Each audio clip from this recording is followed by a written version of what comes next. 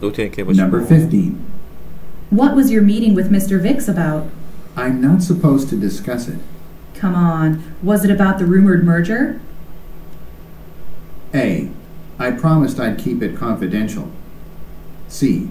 Honestly, I'd like to know too. C. If you don't want to say, that's fine. D. Everyone says so, but I wasn't there.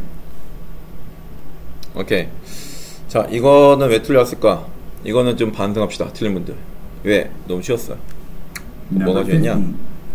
What was your meeting with Mr. Vix about?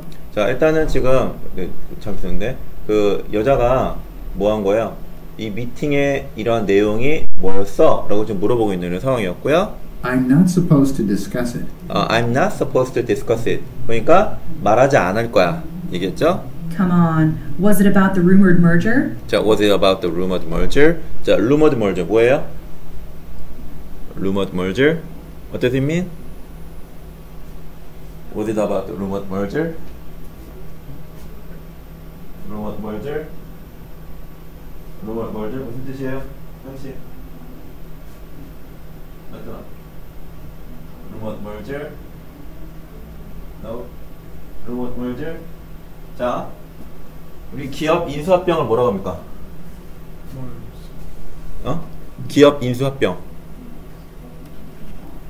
M&A 한다고 하잖아요.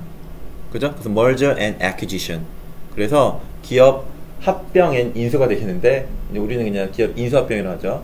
그래서 여기서 나오는 merger 이게 합병이에요.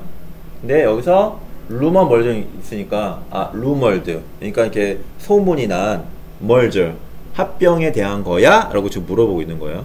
그 M&A란 말은 많이 들어보셨죠? 예, 그 상식, 상식으로 merger and acquisition이라는 그 준말이다라는 것도 챙겨 주시고. 자, 그러면 그거, 그 합병, 기업 합병에 대한 거야? 라고 물어봤어요. A. I promised I'd keep it confidential. 어, I promised I keep it 뭐다? confidential. 어, 나 비밀로 하기로 했어. 그러니까 이제 A 바로 답 나오죠. 오케이? 말하지 않기로 했기 때문에 다른 거 왜 안 되나? C. Honestly, 이거 B예요, B. I'd like to know too. 자, I'd like to know too. 나도 알고 싶어요. 어, 얘는 지금 알고 있는 상황인데. C. If you don't want to say, that's fine. 어, if you don't wanna say, that's fine. 어, 말하고 싶지 않으면 괜찮아. 이건 여자가 해야 할 말이죠. D. Everyone says so, 누구나 다 그렇게 얘기했어요. but I wasn't there. 어, 근데 나는 거기 없었어요. 뭔 소리야. 이, 이 사람은 지금 회의에 참석을 했기 때문에 회의 결과에 대해 알고 있는 상황이었습니다. 그래서 답은 A가 되는 게 맞겠죠. 오케이. 자, 이렇게 오늘